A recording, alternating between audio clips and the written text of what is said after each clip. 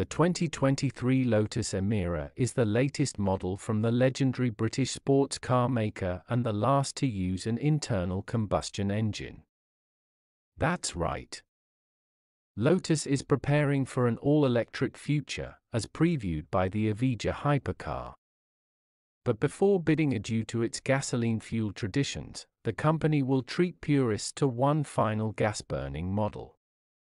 As the successor to the Evora GT, which is currently the only Lotus sold in the US, the Emira is more practical, has a far nicer interior, and offers active safety equipment for the first time.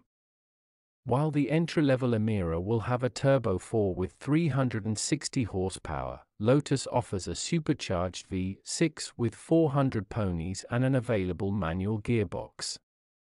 That means the Emira competes with Porsche's 718 Cayman and certain 911 variants.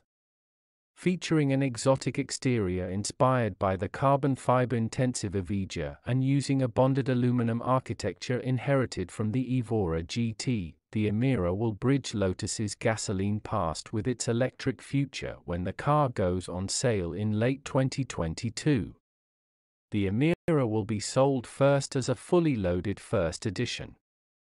However, the lineup will eventually add a more affordable entry-level model. Mounted in the middle of the Emira will be one of two engines, a turbocharged 2.0-litre four-cylinder or a supercharged 3.5-litre V6. The four-banger is sourced from Mercedes-AMG and makes 360 horsepower. It feeds the rear wheels through a dual clutch automatic transmission, the only gearbox choice. The V6 is a Toyota sourced unit that's carried over from the outgoing Evora GT. It pairs with either a torque converter automatic or a manual transmission. With the stick shift, Lotus says the 3.5 litre produces 400 horses and 317 pound feet of torque.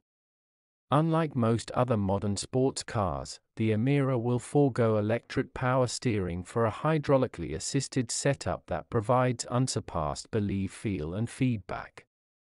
During our initial test drive, we praised the Emira's balanced handling and brilliant steering, and we marveled at its commitment to driver involvement.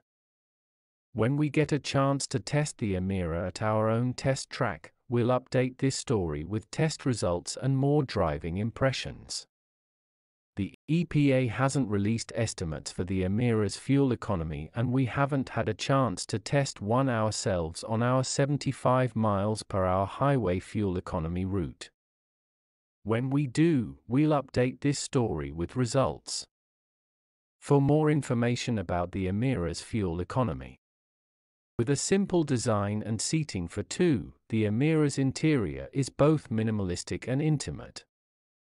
The driver faces a squared off steering wheel and a 12.3 inch digital gauge cluster.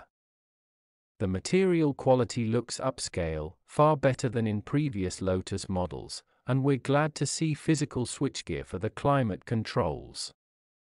Likewise, the automaker also attempts to make its latest sports car easier to get in and out by making the door sills narrower and the door openings larger than they were in the Evora GT. Other practical improvements include a pair of cup holders in the center console and storage bins in the doors that can each allegedly accommodate a half liter bottle. There are also 7 cubic feet of cargo space behind the seats and another 5 cubes in a storage bay behind the engine. The Emira's infotainment system will run through a 10.2 inch touchscreen mounted in the middle of the dashboard. Apart from controls on the steering wheel and the likelihood of voice commands, there are no physical controls to adjust the stereo's volume or tuning. Along with 12 volt and USB charging ports, the sports car will feature standard Apple CarPlay and Android Auto smartphone functionality.